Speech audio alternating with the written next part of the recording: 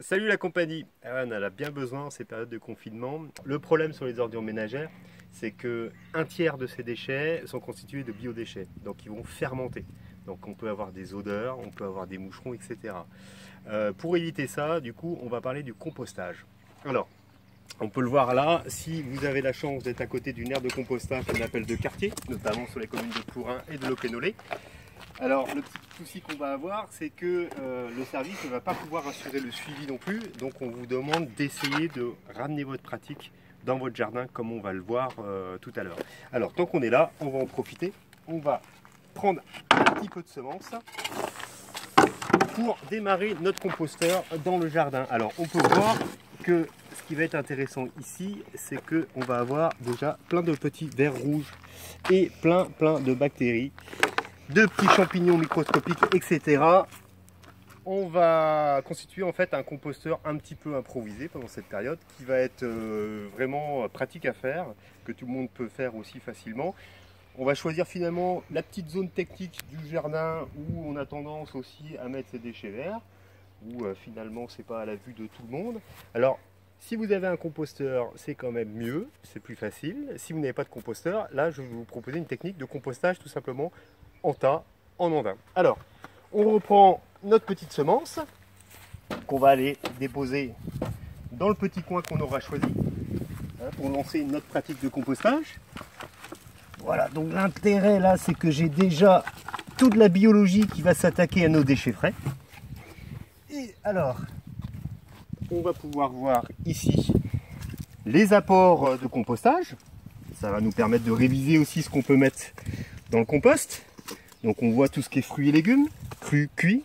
On voit toutes les coquilles. Alors un petit conseil aussi pour que ça aille plus vite. On écrase tout ça, on essaie de couper en petits morceaux. Vous avez vu mon chou-fleur. Hein, plus ça sera petit, plus vite ça va se dégrader. Évidemment, on peut faire ça dans sa cuisine. Alors, les agrumes, oui, ça se composte sans problème, vous allez voir. Filtre et marre de café, pas de souci. On peut mettre tout ça, voilà.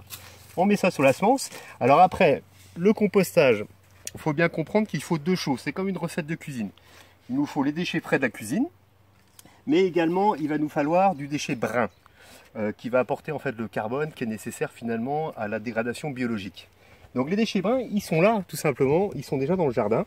Donc par exemple l'autre jour, on a fait du broyage, des petites haies d'entretien. Voilà, donc on va pouvoir amener sensiblement la même quantité que ce qu'on a amené en déchets frais. Et on va complexer un petit peu les deux hein, pour que le mélange se fasse bien. Voilà, simplement. Donc là, on a un mélange qui est équilibré, ce qui va en fait empêcher aussi les déchets de la cuisine de rentrer en putréfaction. C'est pas très esthétique tout ça. Moi, ce que je vous propose, c'est on va le couvrir simplement avec notre gazon aussi qu'on avait fait sécher. Voilà, la petite couverture qui va aussi finalement éviter la déshydratation puisque le compostage est une réaction biologique aussi qui a besoin d'eau, évidemment. Voilà, vous voyez, ni vu ni connu. On n'aura pas de problème aussi de moucherons, puisque c'est bien couvert. Et euh, ce qu'il faudra aussi veiller pour que ça aille plus vite, pour qu'il n'y ait pas de nuisance aussi dans les jours à venir, c'est de temps en temps, il faut amener de l'oxygène par un brassage, tranquillement à la fourche aussi. Voilà, dans les jours qui vont suivre. On va pouvoir continuer à avancer sur notre rondin. Donc le dépôt la prochaine fois sera fait là, etc. Et donc on va arriver avec un andin. Et je pense que quand vous serez arrivé au bout, déjà cette matière-là, elle sera intéressante à utiliser. À vous de jouer, portez-vous bien et restez chez vous.